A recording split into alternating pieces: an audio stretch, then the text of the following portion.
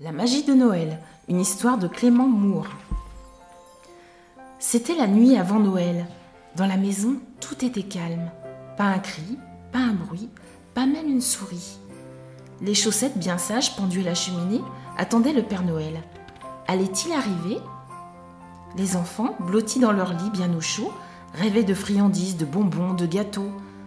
Maman sous son fichu et moi sous mon bonnet étions prêts à dormir une longue nuit d'hiver. Dehors, tout à coup, il se fit un grand bruit. Je sautai de mon lit, courus à la fenêtre, j'écartai les volets, ouvris grand la croisée. La lune sur la neige brillait comme en plein jour.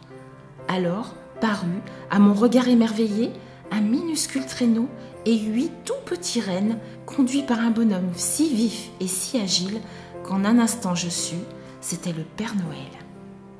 Plus rapide que des aigles, les, les rennes semblaient voler.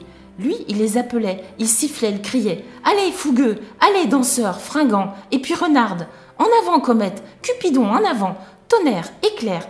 Allons, allons Montez sur la terrasse, grimpez en haut du mur Dépêchons, dépêchons. Allons, plus vite, plus vite.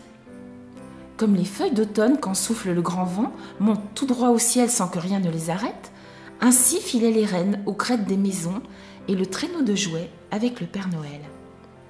Peu après, j'entendis sur le toit, tout là-haut, piétiner, trépigner tous les petits sabots. Comme je me retournais et fermais la fenêtre, le Père Noël bondit en bas de la cheminée, tout vêtu de fou rire de la tête aux pieds, tout sali par la suie, tout recouvert de cendres. Avec son sac de jouets jeté sur son épaule, on aurait dit un vagabond traînant une vieille besace. Ses yeux, comme ils brillaient, et quelle joyeuse fossette Sa drôle de petite bouche n'arrêtait pas de rire, perdue dans une grande barbe aussi blanche que la neige. La fumée de sa pipe serrée entre ses dents faisait un grand nuage tout autour de sa tête. Son visage était large et son ventre bien rond tremblait tant il était secoué de rire. Joufflu et grassouillet, c'était un bon vieux drôle, et malgré moi, je ris en le voyant ainsi. Un clin d'œil de sa part, un petit mouvement de tête, je n'avais rien à craindre, il me le disait net.